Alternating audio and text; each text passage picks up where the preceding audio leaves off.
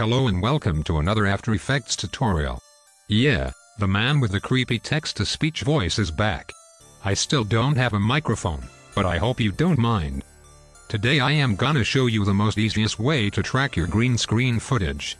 We don't need any third-party plugins. First, make sure that you have track markers on your green screen. Yeah, I really recommend it. LOL.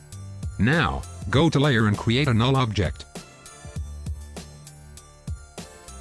Then click your green screen footage and click Track Motion on the Tracker tab. Check Rotation and Scale. For this simple track we actually need only two track points. Place the first track point on a marker on the left side.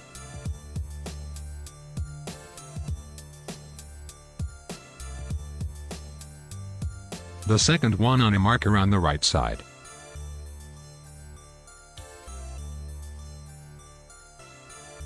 Now click Analyze Forward.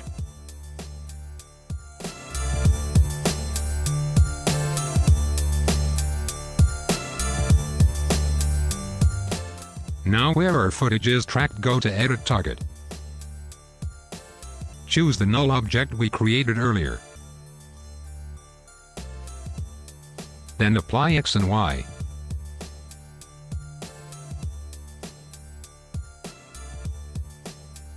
Now, our null object moves along with our track marker.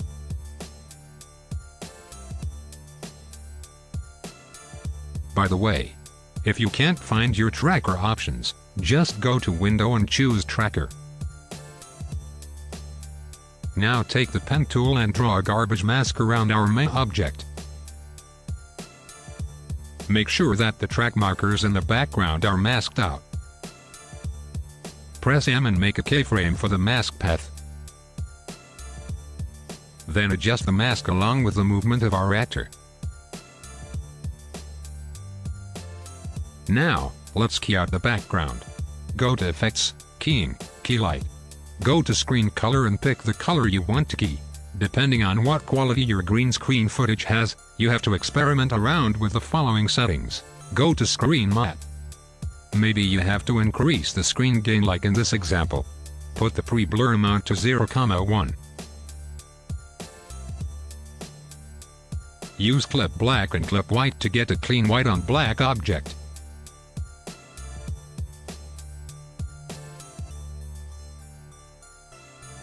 Decrease the screen shrink a bit, and increase the softness a bit. Go back to final result. It's hard to show you the right way to adjust all those settings because your footage is different in lightning and saturation. As a side note, there is also another way to get rid of the track markers. If they are black or like in this case white, you can increase screen display white and the markers will disappear.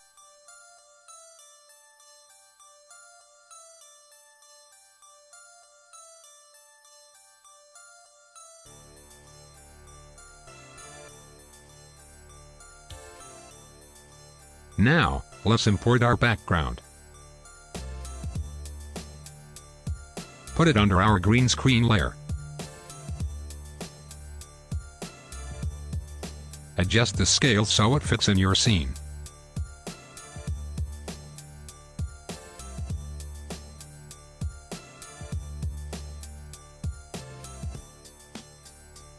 Now parent the background to the null object.